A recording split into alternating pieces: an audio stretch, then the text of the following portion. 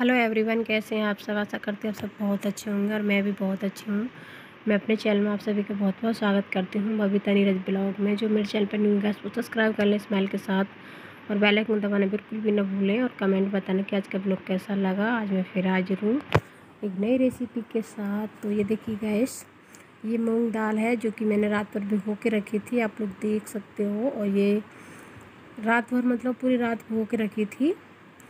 तो यहाँ पे मैंने प्याज और टमाटर को चॉप कर लिया है, हरी मिर्च और ये देखिए यहाँ पे मेरा दूध गर्म हो रखा है। तो दूध गर्म होने के लिए रख दिया मैंने। तो पहले मैं दूध गर्म कर देती हूँ और इसके बाद इसको मैं फ्राई करूँगी मूँग दाल को। तो बने रहिएगा और उम्मीद करूँगी आप सबको बहुत पसंद आएगा। पसंद आए तो लाइक कर देना और शेयर भी कर देना। तो ये देखिए गैस, यहाँ पर मैंने पैन रख दिया है और इसमें मैं डालूँगी ऑयल। तो ऑयल मैं बहुत थोड़ा सा डालूँगी। और आजकल ना गर्मी होने लगी है तो फ़ैन की आवाज़ आ रही होगी आपको।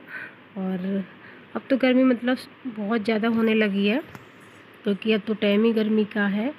तो चलिए मैं पहले ऑयल डाल देती हूँ तो ये देखिए मैं बिल्कुल थोड़ा सा ऑयल डाल देती हूँ।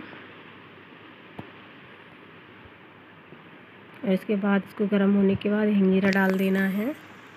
बहुत अच्छा लगता है, और मूंग दाल का तो सबको पता ही है कि हमारे लिए कितने फ़ायदेमंद होती है। तो आप लोग बना सकते हो। और इसके बाद जो प्याज और ये मैंने लहसुन कट करके रखा था, इसको ऐड कर दूँगी और इनको ब्राउन होने तक भून लूँगी। और ज़्यादा नहीं भूनना है, क्योंकि फिर कड़वा कड़वा सा लगता, मुझे ज़्यादा वो अच्छा नहीं लगता। तो ये देखिए, बिल्कुल ऐसे भून लो, जिससे कि हमारा ये भुन जाए जले नहीं और एकदम बढ़िया सा कलर आ जाए।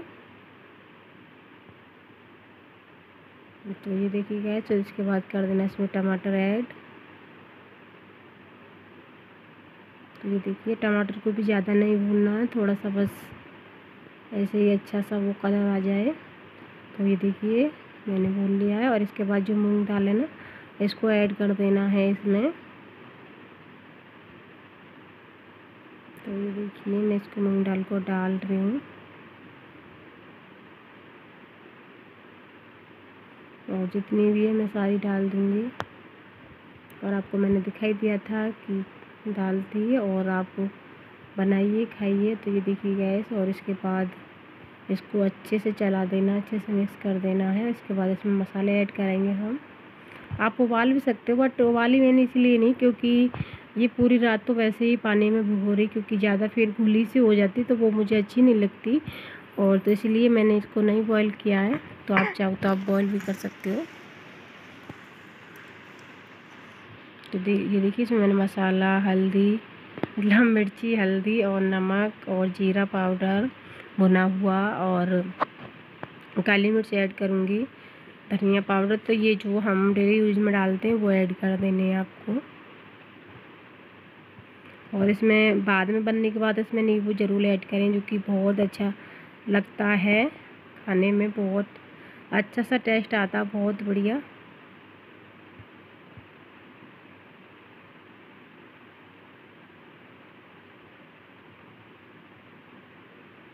तो ये देखिए मैं अच्छे से चला दे रही हूँ इसको।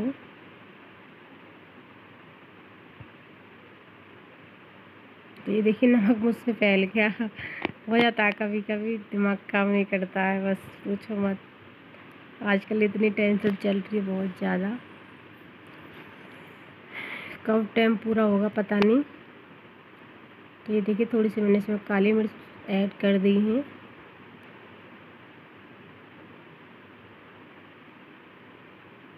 तो ये देखिए थोड़ा सा कसूरी मेथी।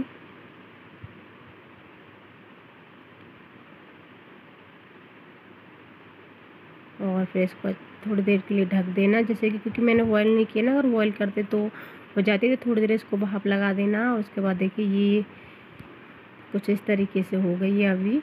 तो मैंने फिर से ढक दिया है और फिर थोड़ी देर बाद मैं आपको दिखा, दिखाती हूँ।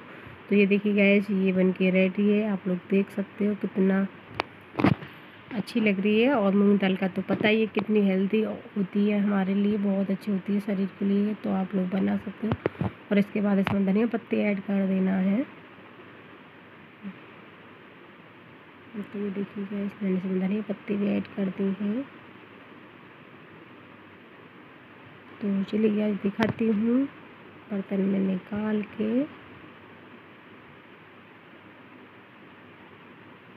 ये देखिए गाइस ये कुछ इस तरीके से है और ये बन के रेडी हो गई है। तो चलिए गाइस मिलूँगी नेक्स्ट वीडियो में अच्छे से ब्लॉग के साथ। तब तक के लिए बाय बाय वीडियो पसंद आए तो लाइक कर देना। Bye bye take care